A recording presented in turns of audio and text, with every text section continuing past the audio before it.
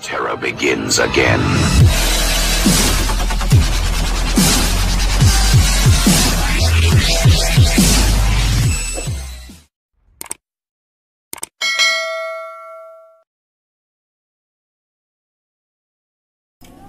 Yan, magandang araw.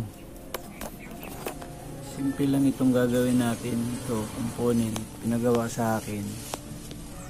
Dashboard lang siya. Hinihinang ko na yung mga ano, okay na siya. Ayan, ang gusto ng may-ari. Iibahin yung connection ng speaker out. Ang ganitong speaker out, gusto niya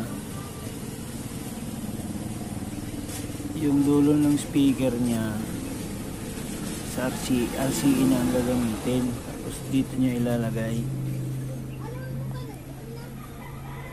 kasi yan auxiliary yan.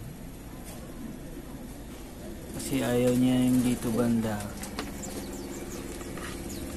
Kaya ang ginawa ko sa speaker niya yung dulo ng wire.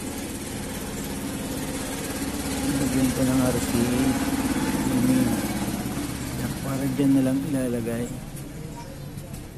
Yan hindi na yung niipit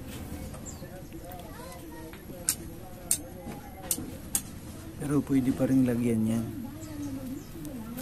Kahit na meron na dun sa taas. Ito papakita ko lang kung paano paano ginawa. Simple lang ito. Request lang kasi ng may-ari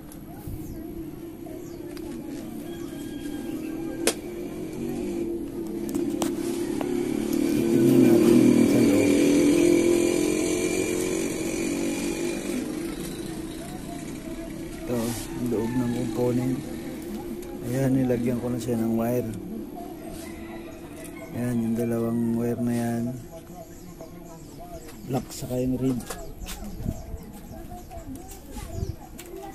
Ito. Diyan nakakunik yan sa may speaker out.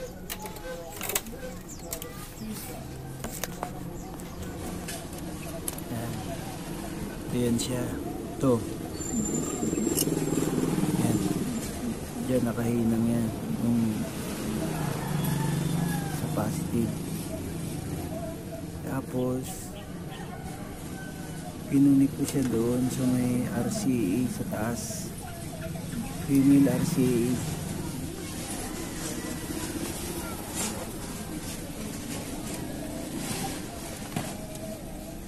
So, titingnan natin.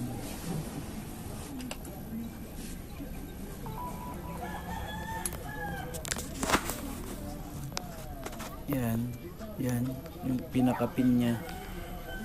Kainan sa board. Ito yung isa. Tapos yan naman yung isa.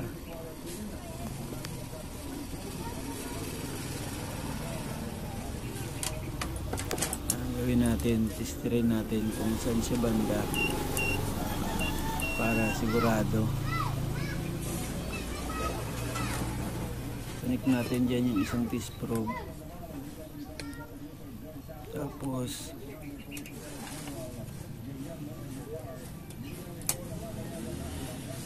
testirin natin yung pinagkunikan, magbabaser yan.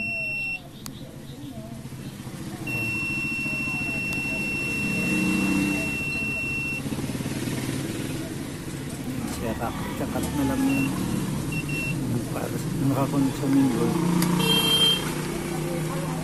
Tapos, kabila naman.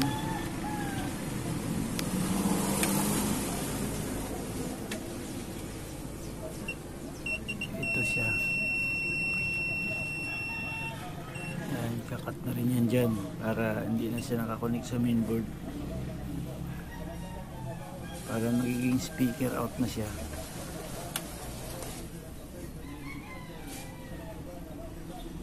Yun, auxiliary in. Ito, magiging speaker out. Nakakunik dito.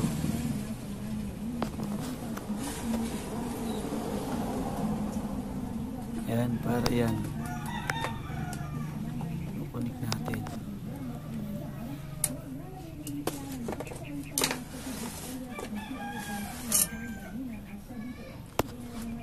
Ito. ko na yan. I-tester na natin para sigurado kung nakakonect siya sa mainboard. Kasi magiging outspeaker na siya eh. RCE na ang gamit. Female saka male RCE. Yan, wala na. Wala na siyang connection.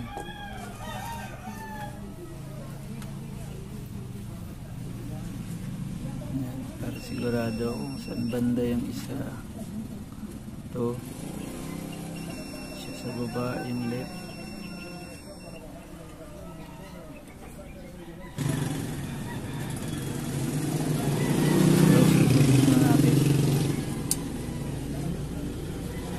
Connect natin yung ginawa na RCA papunta sa speaker bali dito na yan isasaksak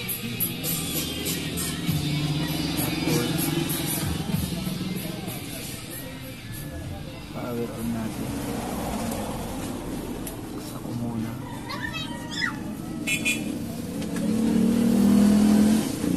try natin subukan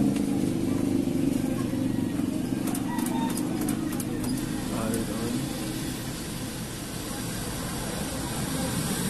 natin.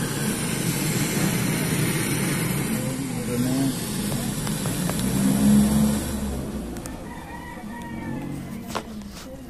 Wala nga lang antena, naka FM radio tayo.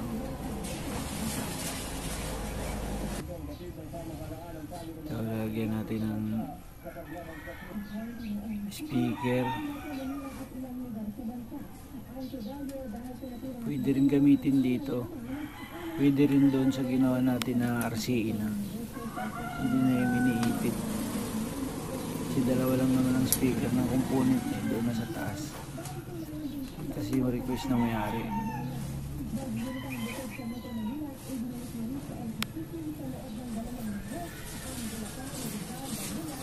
Okay, testing natin.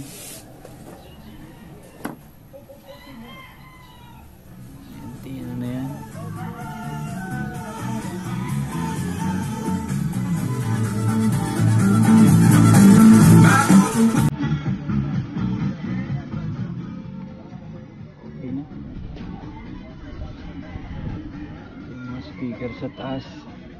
Matulog na.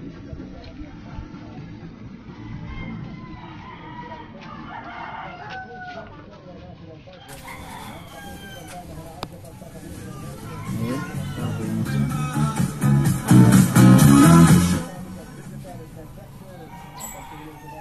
Okay, salamat.